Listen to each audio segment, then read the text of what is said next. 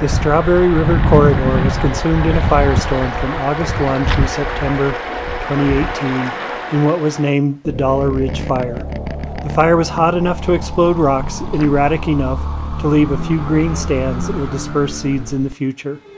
Before the fire, the Strawberry River was a prime, blue ribbon designated trout stream on the south slope of the Uinta Mountains of Utah. Brown trout and Colorado River cutthroat trout swam these waters full of small bait fish and full of small aquatic insects living off the vegetation in the river.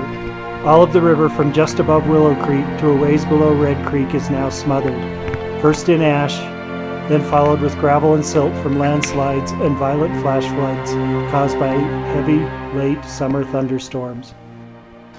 Mostly, the canyon was Utah state land, a wildlife management area, with some private property mixed in. The state could not contain the fire. Instead, the federal Great Basin interagency fire teams, with, at peak, nearly 900 firefighters, fought the blaze for nearly two months. 90 homes or summer cabins burned, and a thousand more were evacuated.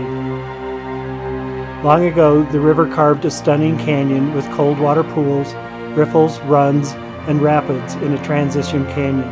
A transition from the high country on the southern flakes of Tabby Mountain and the Uintas and exiting out into the high plains and desert basin, joining the Green and Duchesne rivers.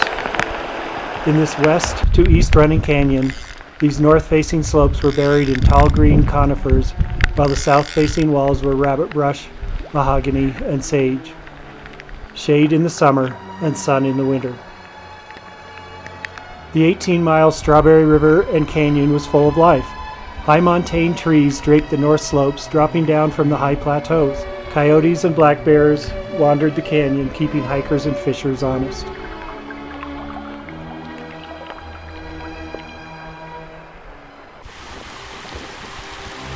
The stream is cleared now, but no life sustaining vegetation survived in the stream bed.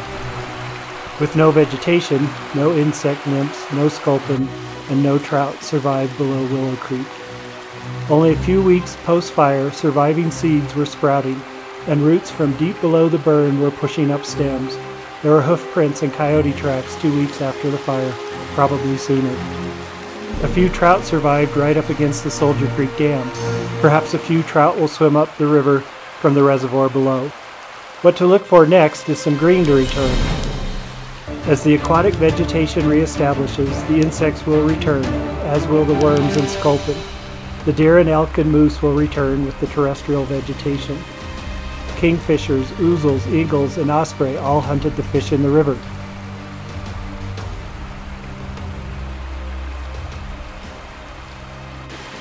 And this osprey, now looking in vain, will find fish again.